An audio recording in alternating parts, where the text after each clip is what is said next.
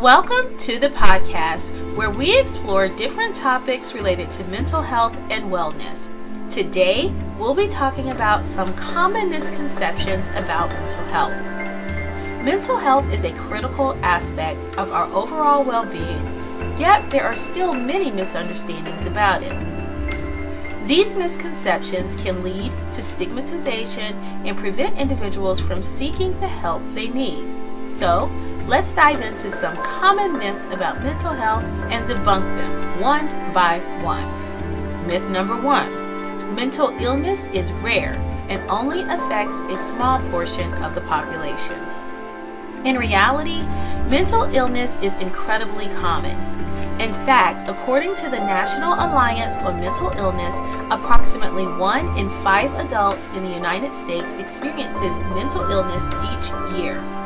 This means that millions of people are affected by mental health issues and need access to treatment and support.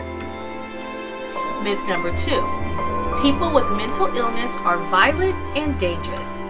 This is a harmful and untrue stereotype that has been perpetuated by media and popular culture. The truth is that individuals with mental illness are no more likely to be violent than those without. In fact, people with mental illness are more likely to be victims of violence than perpetrators. Myth number three seeking help for mental health issues is a sign of weakness. On the contrary, seeking help for mental health issues takes a lot of strength and courage. It can be challenging to acknowledge that you need help and to take steps towards getting it. Seeking help is a proactive and positive step towards improving your well being and overall quality of life. Myth number four mental health issues are just a phase and will go away on their own. While some mental health issues may be temporary, many require ongoing treatment and support.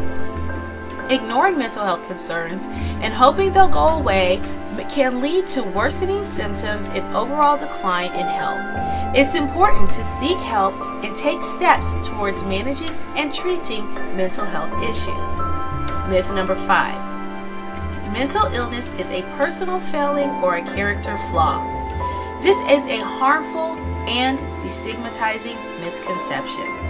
Mental illness is a medical condition that is influenced by various factors, including genetics, environment, and life experiences. It's not a reflection of someone's character or personal strength. So, those are just a few common misconceptions about mental health that we've debunked today. It's important to educate ourselves and others about mental health to reduce stigma and promote access to treatment and support. Thanks for listening to the podcast. Don't forget to subscribe and tune in next time for more discussions on mental health and wellness.